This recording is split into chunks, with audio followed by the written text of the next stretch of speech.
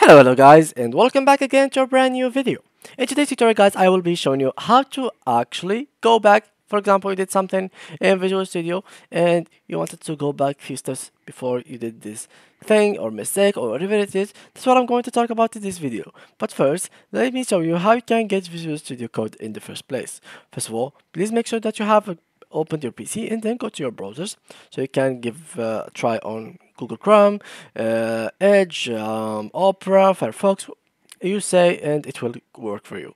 So now go to the URL section on your browser and search for Visual Studio Code. After that guys, let me give you a side note so you don't make any mistake. Do not make any like um any confusion between these two softwares. This one, which is the blue one, is the one that we are going to use today, which is Visual Studio Code. The other one, which is the purple one, it looks similar.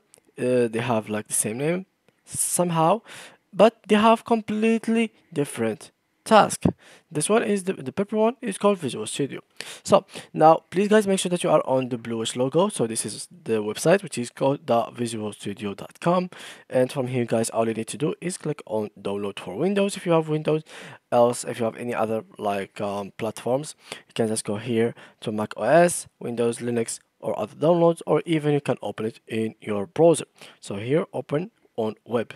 Now after that you just have to install it on your PC which is next next next and then install which is a simple thing.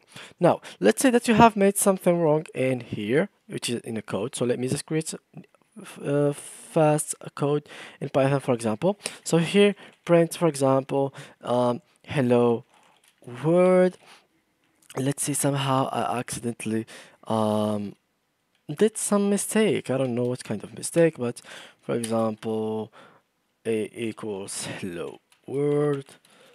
And let me do something like that. And here I think print a. And somehow uh, here you added for example these two over here. So you wanted to go back or you wanted to fix this problem. So what you have to do is click on control Z. So here we are. So let me just click here. Control Z control Z and as you can see it's going back. So now if you're on the code it will be working for you uh, good. So guys that was it for today's video. That's how you can go back in Visual Studio Code. As you can see I will go back until the beginning as you can see. So yeah guys that was it for today's video. If you enjoyed please leave a like and thank you for watching